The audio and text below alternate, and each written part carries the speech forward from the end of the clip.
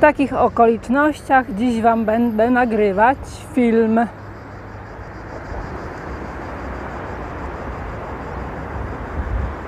No to zaczynajmy.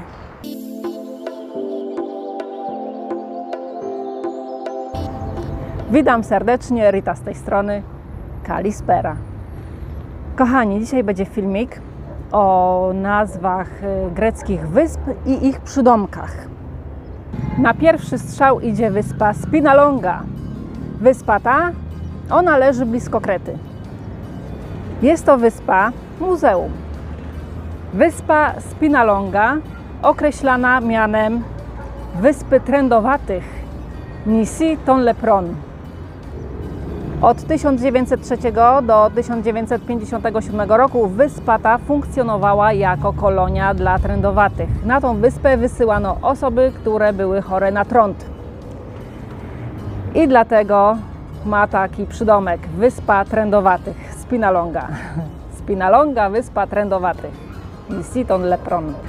I jak, wynale jak wynaleziono w 1957 roku właśnie lekarstwo na trąd, tak wtedy ostatni mieszkaniec opuścił wyspę. I wyspa ta do tej pory jest niezamieszkała i jest jako muzeum.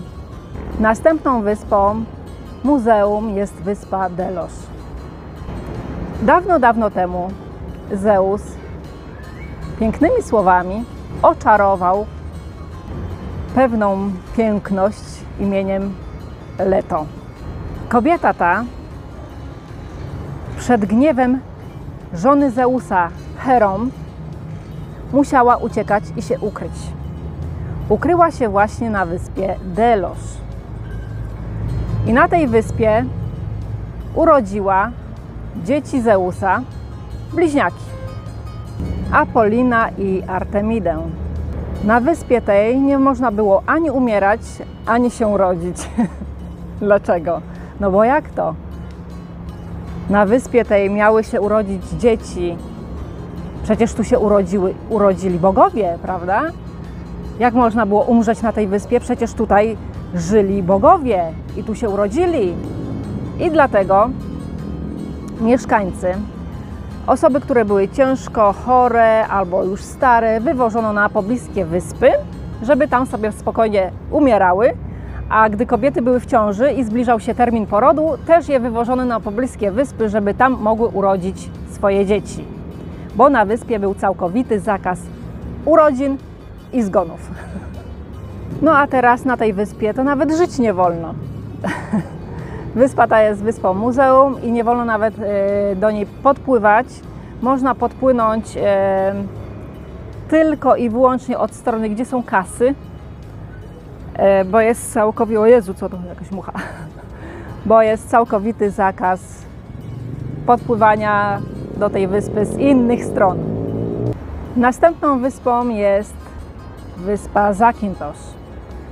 Pewnie ją znacie, też pod nazwą Zante. Przydomek tej wyspy to Luluditis Anatolis, czyli kwiat wschodu. Tak ją nazwano z tego względu, że jest tak piękna. Słuchajcie, moi kochani, będziemy kontynuować u mnie na balkonie. Niestety tu jest za gorąco, mimo że jest ósma już pod wieczór.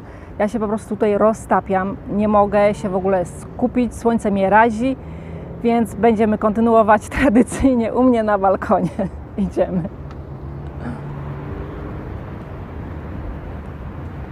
Pokażę Wam jeszcze widoki z tej strony.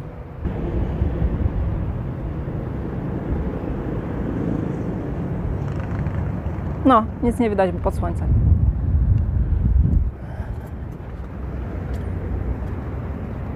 Ale widać stadion. Widzicie stadion? Miejsca siedzące widać. Ławeczki na stadionie. Uf, aż lepiej. Spadam na balkon. Nie ma co siedzieć na tym słońcu. Serio, no, nawet, nawet nie wiedziałam, czy się patrzę w kamerę, czy się nie patrzę, więc lepiej na, na balkonie. Chciałam dobrze. Chciałam to nasze skrzynki ze sklepu. Chciałam dobrze, żebyście mieli coś urozmaiconego, ale zwijamy się z powrotem do domu. 35 stopni w domu mamy. Patrzcie. Oh my god. Następną wyspą jest wyspa Lewkada. Przydomkiem tej wyspy jest Biała Wyspa, czyli Lewkoni Nazwa wyspy bierze się stąd, że wyspę otaczają białe klify. I dlatego nazwano ją Lewkada, bo Lewko, słowo Lewko po grecku to biały. I tak wyspa Lewkada jest inaczej też nazywana Białą Wyspą. Następną wyspą jest wyspa Milos. Przydomek tej wyspy to Wyspa Zakochanych. To Nisi, ton Erotyzmenon. W 1820 roku na wyspie znaleziono posąg Wenus z Milos, po grecku Aphrodite tis Milu. Dzisiaj na Milos znajduje się kopia tego posągu, a oryginał leży w Luwrze.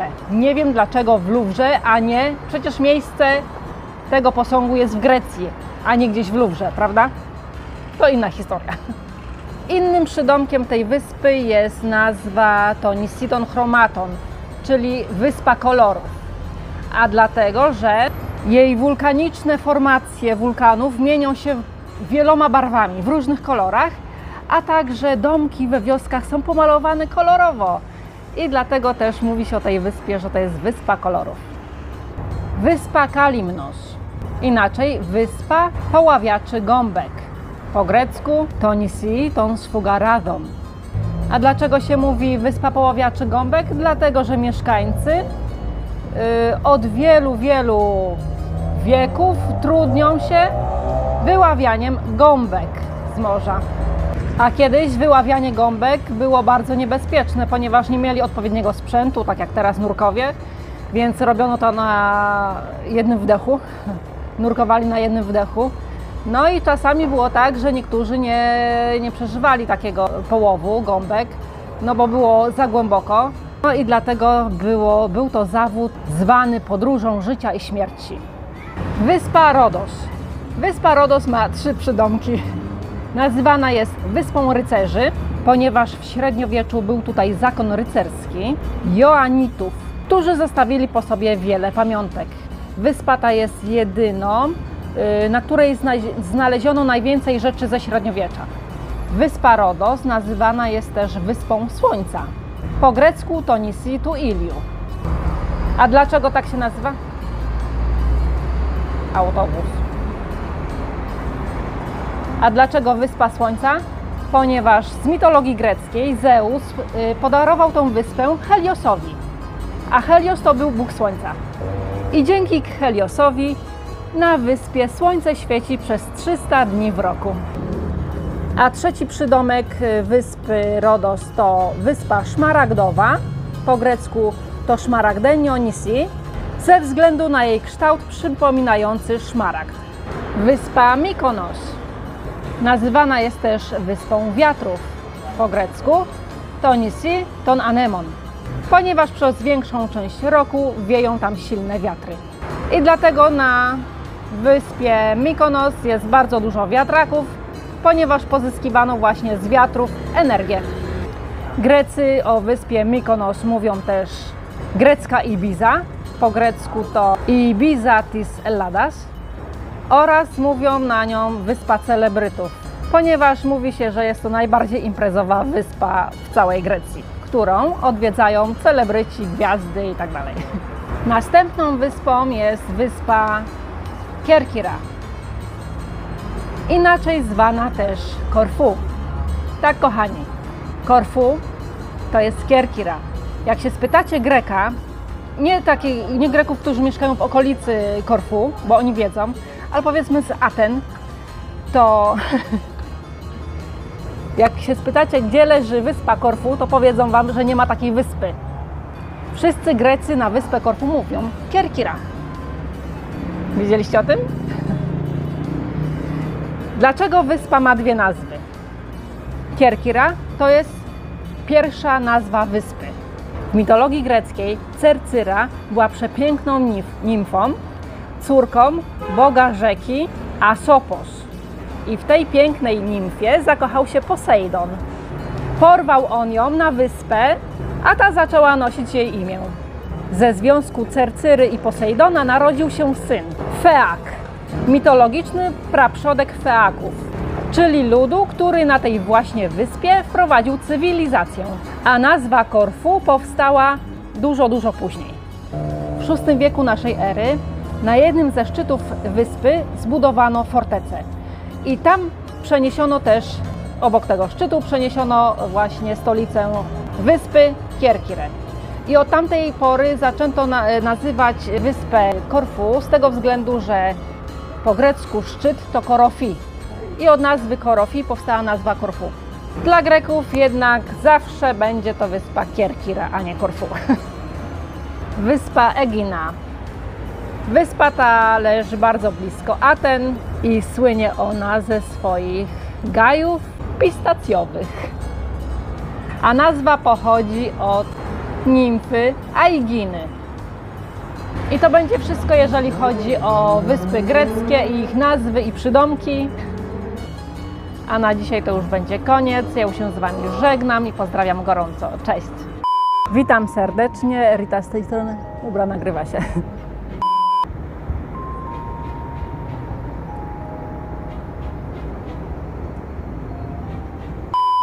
Witam się z Wami w. Co dzisiaj jest? Kurde. I. Ktoś tam na mnie gapi. No niech się gapią. Zma, zbama łódź. Zba,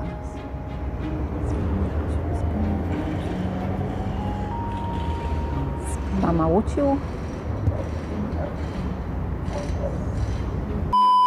Bez sensu. Ej, a gdzie Akropol? O nie, ktoś tam coś kurde zrobił i nie widać Akropolu. Przybliżenie. No, zastawili mi tutaj kurde czymś ten Akropol, no. A z tej strony? O! Tutaj już widać. Cóż, ta kamera nie ma fajnego zoomu.